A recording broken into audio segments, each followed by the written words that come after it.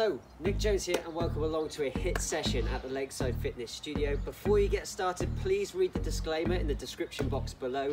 And as always, if you are enjoying this content, please subscribe to the channel, it really helps me. Like, comment, share, whatever. Apart from that, let's get to it. So we're just going to start the warm up with some swinging of the arms side to side. Some active stretches to start with then we're going to slowly lift the heart rate as the warm up goes on. Now forwards and backwards with the arms, so arms nice and straight. And just kind of like marching arms. Now a warm up for the rotator cuff, arms out straight to your side, thumbs up, thumbs down, thumbs up, there. thumbs down. Just switch them over.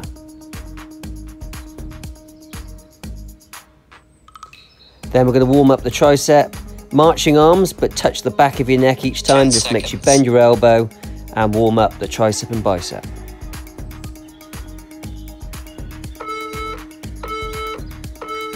Next up, just some torso twists. So just twisting your shoulders and upper body in relation to your hips. This is warming up the back.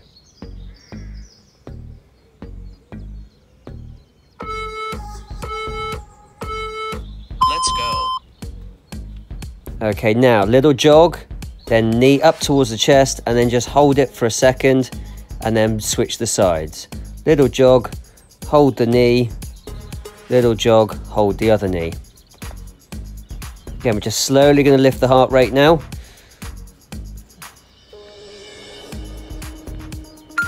Halfway there. Okay, so now up.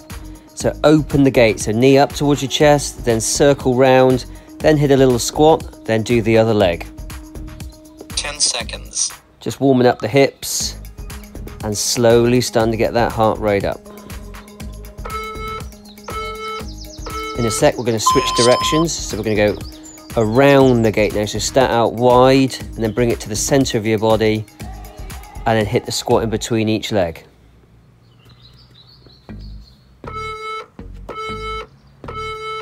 Let's go. Active stretches just gets every body part moving. Now next up we're going to do some walkout. So from toes, then walk down onto the floor kind of out into press up position, walk back in, then hands up towards the ceiling or sky in my case.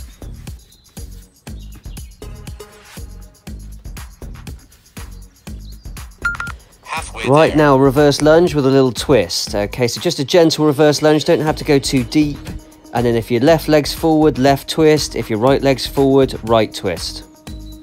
10 seconds. Just this and some jumping jacks to go. And then we're going to be nice and warm, ready to go. So just a few jumping jacks, 10 seconds. Rest.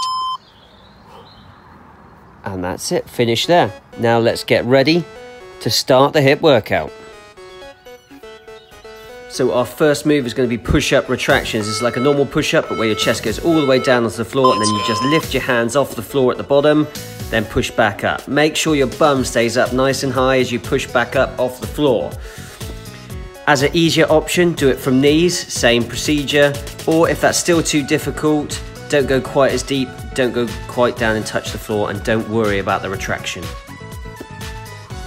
Apart from that, I like to set these HIIT workouts a little bit too tough, therefore there's always that room for improvement. Apart from that, just try and get as many reps in each 45 seconds as you can. 10 seconds. Lastly, we are going to be following the timer. 45 seconds on, 15 seconds off. For the timing, I do use an app called SmartWOD. It's free and super simple to use. 45 seconds done, rest there. Next move is going to be our lat pull down skydiver. You're going to roll your towel up, you're going to try and pull it apart, then you're going to try and get your thighs and your chest in the air. Start with your arms nice and straight, and then just pull the towel down towards your chin, squeeze your lats on the side of your back, and then slowly move out back up to the top. So, so pull down, squeeze the lats, then straighten the arms, Try and stay in the air the whole time if you can, but to make it easier, just do as many reps as you can at a time, then go down onto the floor, take a break, and then go back in. Again, try and push it as hard as you can. We're starting with two power moves to slowly lift the heart rate before we get into the real heart rate lifting exercises. 10 seconds. That's it. Try and stay up the whole time if you can. Hang on as long as you can. Three, two, one, rest. 15 seconds rest. Our next move, you're gonna move the mat. We're gonna do our bunny hops. It's where you squat down nice and deep, jump with a little heel kicker in the middle. If that's too difficult, don't do the heel kicker. If that's still too difficult, you don't want any impact on your knees, just do your normal body weight squat. I'll demonstrate the options as we go. So there's the easiest, and then here's the middle one, just with the straight jump. If you're doing these right, these should really get your legs and jack your heart rate up. This heel kicker squat is super tough. Just make sure your chest is staying up nice and tall as you're bending your legs. You don't want to be tipping forward from the hips and not bending at the knee. You want to bend those knees, activate those legs, keep the chest up tall so you're not using your lower back. 10 seconds. But again, it's only as hard as you make it. You can coast the workout if you like, or if you want the most out of it, really push it.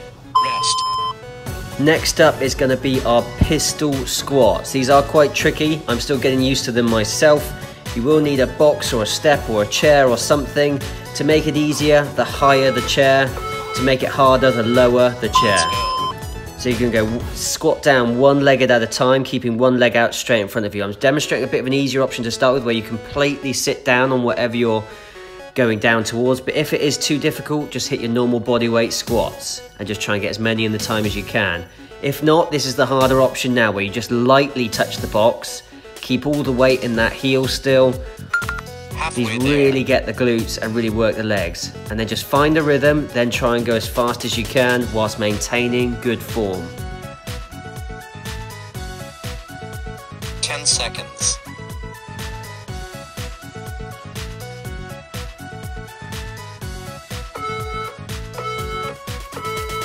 Rest. So rest there. Next up, we're gonna get that heart rate up as high as we can with some mountain climbers. You're gonna go down into press up position, then you're gonna do a high knee sprint from the press up position. To make it as hard as possible, go as fast as you can with only light touches at the back, as if you are doing a high knee sprint like I'm doing. Or if not, feel free to slow it down a little bit if you are struggling. And kind of step it out. Apart from that, go as fast as you can. Try and get as many steps in the time as you can. Whilst keeping the hips and shoulders in a nice straight line. You don't want the hips Halfway above there. the shoulders and you don't want them below the shoulders.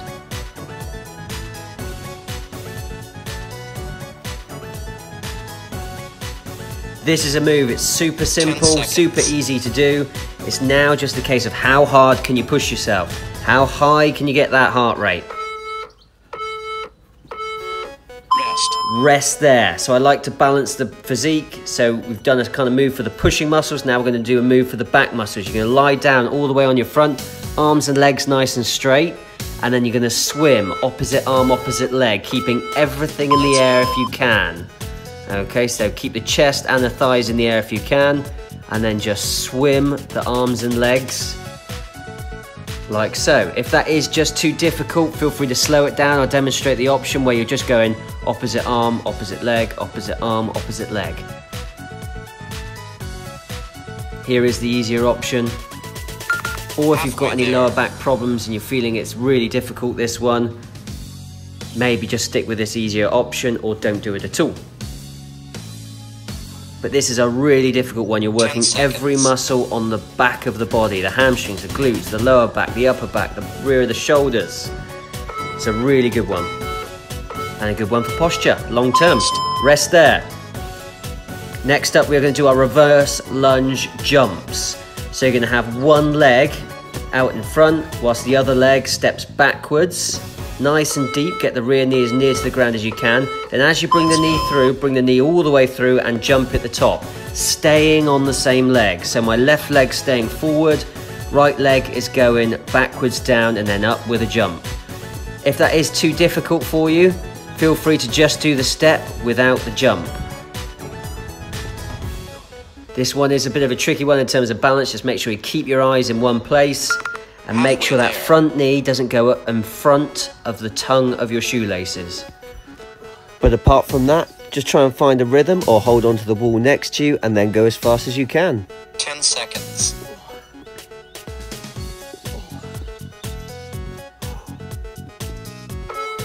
So that one's a nice tough one, really gets into the glutes and into the legs and lifts the heart rate. We're now just gonna switch the sides. So remember, knee doesn't travel over the tongue of your shoe. Nice big step backwards, get that knee as near to the ground at the back as you can, and then push it through up with a jump. Remember, ignore the jump if you're struggling with it. But if you're not, find a rhythm and then slowly try and pick the pace up. The more you can get in the time, the better, but make sure that rear knee is almost scraping the floor. And make sure the front knee doesn't go over the tongue of the shoe.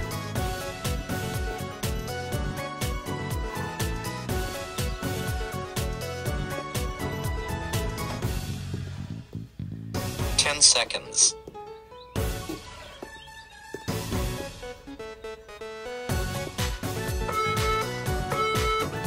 Okay, so rest there. Next up, we're going to do a final cardio move which involves all of the body, the upper body and the lower body. It's the squat thrust. So press up position, then you're to jump both legs in all the way up as near to your chest as you can, and then jump the legs all the way back into press up position. This one is a super tricky one, really gets the heart rate up as we're using all of the muscles in the body. And remember, if you're finding it too difficult, just slow it right down or kind of step it in and out and back.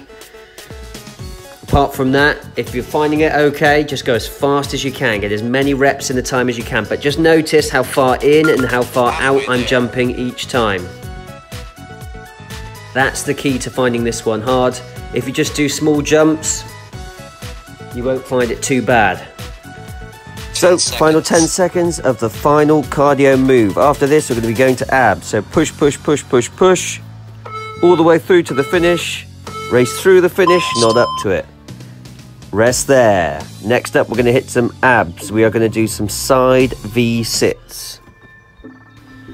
So, what you're going to be doing, you're going to be led on your side, one arm out at a 90 degree angle to stabilize. Then stretch everything out nice and long, and then lift everything up and reach for your toes. You can kind of do it with straight legs, like I was doing to start with, or you can do this option where you bend your knees in round towards your chest and reach for the ankles that way. Straight legs is going to be harder, bent legs is going to be a little easier. Halfway If you there. are doing the bent leg option, make sure your knees are moving. So you're bringing your knees up, right up towards your chest. And then as everything's going back down, extend your knees and your legs out completely straight. seconds. Apart from that, just nice big pauses, big squeezes. Try and flex those abs, work them as hard as you possibly can. Finish there. Next up, we're just going to roll on to the other side. I flip round completely just to keep facing the camera. But you can just roll on to the other side. I'm going to do exactly the same move, but for the other side. So either straight legs, an arm above the head, get everything out nice and long and straight, and then try and lift everything up and try and touch your toes. Or go for that bent leg option like I'm doing now. But if you notice, my knees are moving as far in, as far out, as far in, as far out. So the goal isn't just to touch the foot, it's about getting those knees coming in and out. If you're doing the bent leg option. Halfway there. If you're doing the straight leg option, get those knees as high as you can up into the air, then get them then get them all the way back down afterwards. This is what I call a high energy ab move. seconds. Uh, it's quite a big movement to work the abs, which is quite good for keeping up that heart rate, keeping the calorie burn going from the cardio moves earlier. Rest. And rest there. Okie doke, next up, what we're going to do is our single leg holds. So, what you're going to do is lie on your back, arms nice and straight above your head, slight bend in the legs, one foot stays on the floor at all times, and then you just reach up, lift one leg, try and hold on to the leg with your hands, crunch your shoulder blades up off the ground. Nice big pause, big squeeze. Hold on to the leg for a second or two at the top, then go back down and then switch the legs. So stretch out, crunch up, hold on to the leg for a couple of seconds, switch the leg. Big pause, big squeeze each time on the abs. This move is there to kind of work the abs, but also give the hip flexors a little bit of a break to make sure you're not feeling it in the hip flexors more than you are the abs, as the next move is going to be nice and challenging to the finish. Rest. Rest there. So next up is going to be our single leg drops. You can do this with a weight or without a weight in the hands. You get arms and legs nice and straight up above you. And then you're going to drop one leg as you drop your arms down towards the floor. Let's go. Then everything back up. Reach for the toes. Big pause, big squeeze. Then drop the other leg. So if you ever get confused on this one, start everything up at the top. Then drop three quarters of your limbs everything up at the top, reach for your toes, then drop three quarters of your limbs again, but drop the other leg. So this is going to be our hardest move to the finish Halfway for the there. abs. Then we're going to stretch, call it a day there. So up, make sure at the top position you're getting your shoulder blades as high as you can off the ground. Big pause, big squeeze.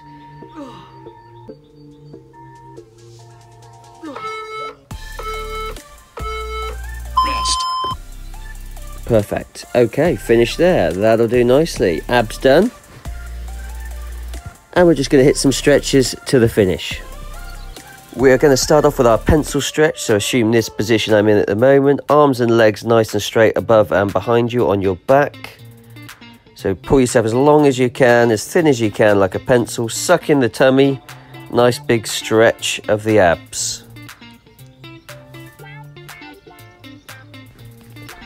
Okay, so bring a knee in, give the back a break. Now sit up onto your bum. You're going to cross your legs, one underneath the other. Chest up nice and tall, and then just walk your hands out slowly. And you should feel a nice stretch through the hips and the lower back. This, I really like this stretch because it stretches everything that attaches to the SI joint, which is where the spine meets the pelvis, where a lot of people get pain. And yeah, so it's just a really good lower back stretch and hip stretch. If your knees are miles in the air on this one or you're struggling to touch the floor, it may be a stretch to work on.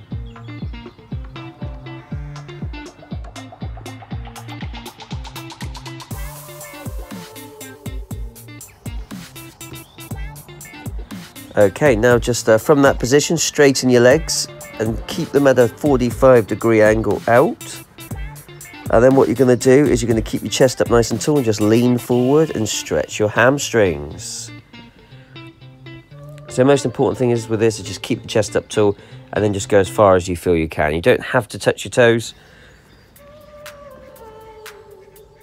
And then next up, you're going to hit your quad stretch. So just lie on your side, heel to bum, and then try and push that hip nice and far forward. You try and want to get that hip out in front of the knee. You want to really pull that knee back and get the heel right up to the bum to get the most out of this stretch.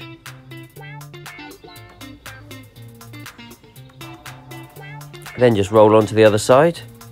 Quad stretch again. So just lying on your side, heel to bum. Try and push that hip nice and far forward and keep the knee nice and far back. If you do want a bit more of a stretch after today's session, I do have more. I do have some longer stretch routines elsewhere on my channel, uh, especially ones around the hips and the lower back. But yeah, so feel free to check them out afterwards if you like. Or there's some other workout videos on here. There's longer versions of this one. And there's also some more specific muscle ones. Okay, next up we're going to go for child's pose. So feet together, knees apart, hands up nice and straight and together. So arms nice and straight, hands together at the top. Then just sink back towards your ankles. It's going to stretch your hips, your lower back, the muscles underneath your armpits, your postural muscles, your lats. It's going to open up your chest, stretch your shoulders, everything. Okay, it's a really good one. It's a good postural stretch and good for just everywhere else. Then just a final one, hands to the base of the spine. Try and pull your elbows towards each other, lift your chest, look up towards the sky or ceiling, and stretch out your chest. Super important muscle to stretch off after press ups and things to maintain a good posture. But apart from that, if you did enjoy that episode today, give the video a thumbs up, subscribe to the channel, it really helps support me. Ask any questions in the comments below. And thank you very much. See you next time.